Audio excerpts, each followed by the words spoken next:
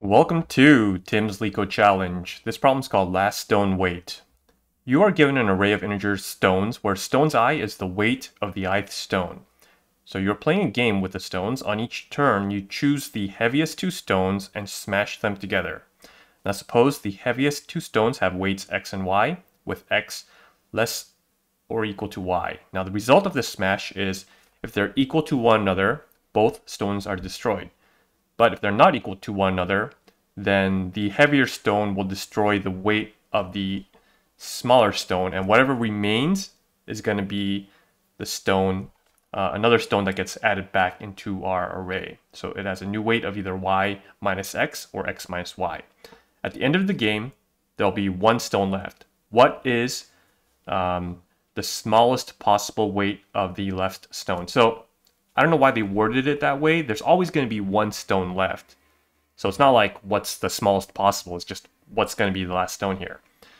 Okay, so if we had this array here, we could certainly just code this out the way it's worded. We can take the, uh, we can sort it and then take the top two, try to um, figure out do we create a new stone or not, and then add that back into our array, resort it, and just continue that on and on, right?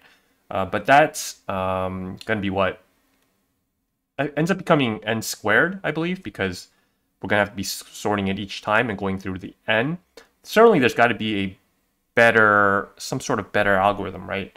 And the data structure that should pop out in your mind right now immediately is a heap. We already know we're going to pop off the top two heaviest, right? So what would be best for that? What about a max heap, right?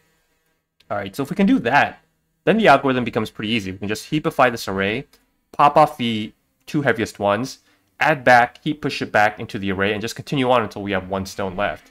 And that should be it. So let's take our stones and let's heapify it. Uh, let's see, should be heapify stones. And we will say while length of stones is greater than 1. Oh, well, one thing, I actually, I forgot. In Python, these heaps are going to be min heaps. So we want to make this to a max heap. So we're actually going to have to reformulate these stones into, let's say, negative s for s in stones. And now it's going to be all negative, and these will be sorted in the max heap, right? Okay, so while stones is greater, uh, let's see, we'll have two stones, right? The first stone, let's first heap what? Pop from our stones.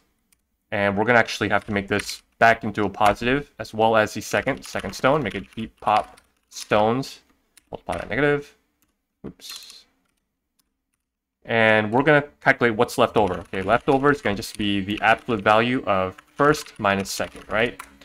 And now we just take over this, wherever this stone is. Maybe there's nothing left or maybe there's uh, something left.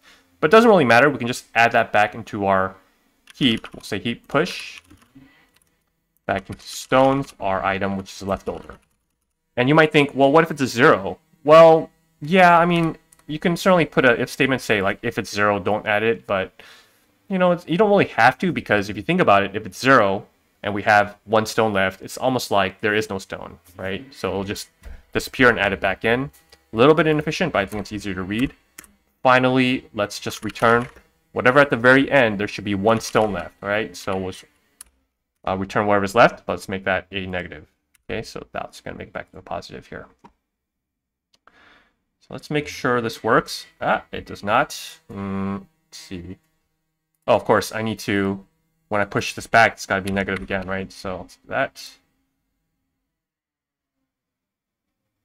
Okay, so that looks like it's working. Let's go and submit it.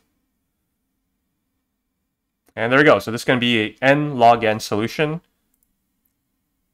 that's it. I think the main, uh, it's supposed to be easy. I don't think it's that easy, but I think the main sort of takeaway from this is you see this problem, you should immediately think heap. Okay?